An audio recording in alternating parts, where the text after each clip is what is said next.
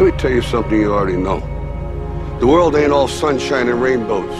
It's a very mean and nasty place, and I don't care how tough you are, it will beat you to your knees and keep you there permanently if you let it. You, me, or nobody is gonna hit as hard as life. But it ain't about how hard you hit. It's about how hard you can get hit and keep moving forward. How much you can take and keep moving forward. That's how winning is done. Pain is temporary. It may last for a minute, or an hour, or a day, or even a year.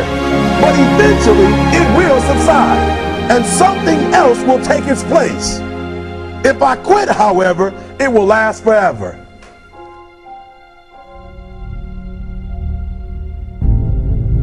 The margin for error is so small.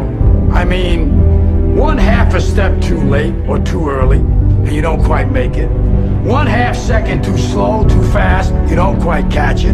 The inches we need are everywhere around us. They're in every break of the game, every minute, every second. You got a dream, you got to protect it.